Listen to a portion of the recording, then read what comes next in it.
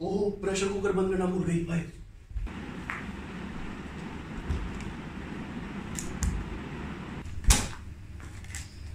और यार प्लीज़ ना बंद कर यार, वो देखो मैंने ने जाए नमाज़ फोल्ड नहीं की।